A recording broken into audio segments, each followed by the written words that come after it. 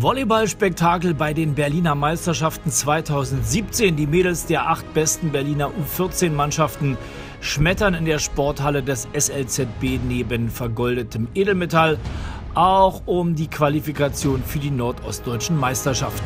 Spannende Spiele, hochklassiger Sport und geschlossener Teamgeist zeichnen den diesjährigen Wettbewerb aus.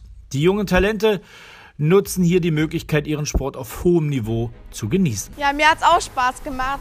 Vor allem, man konnte viel lernen, wie die Gegner spielen.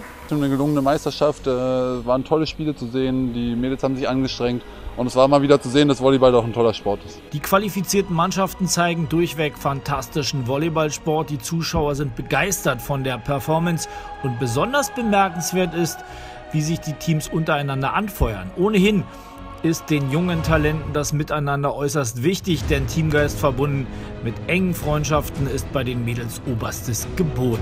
Sport vereint. Also mir macht es eigentlich sehr viel Spaß immer. Und ich finde es auch toll mit den anderen Mannschaften, weil alle sehr nett zueinander sind. Also mir macht es sehr viel Spaß, in der Mannschaft zu spielen. Und ich finde es auch schön, wenn man zusammen gewinnt oder verliert. Und ja. Ja, also auf jeden Fall, dass es ein Teamsport ist und es macht halt einfach Spaß mit Bewegung und ja. Mit viel Spaß und Freude. Genau.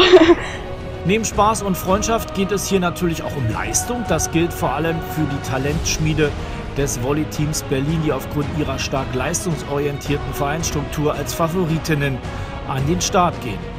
Ganz so einfach soll es allerdings nicht werden, denn vor allem der Marzahner VC überzeugt im Turnierverlauf mit überragenden Spielen. Beide Teams stehen sich am Ende in einem ja atemberaubenden Finale gegenüber. Spätestens in dieser Partie haben die Spielerinnen Gänsehaut, denn sie werden tatkräftig und lautstark angefeuert.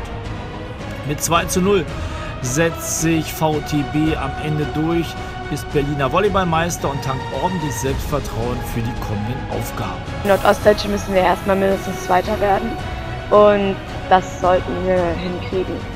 Uh, ja.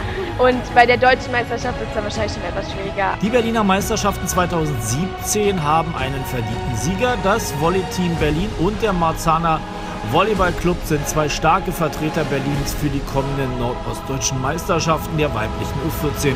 Hauptstadtsport TV wünscht wie immer viel Erfolg.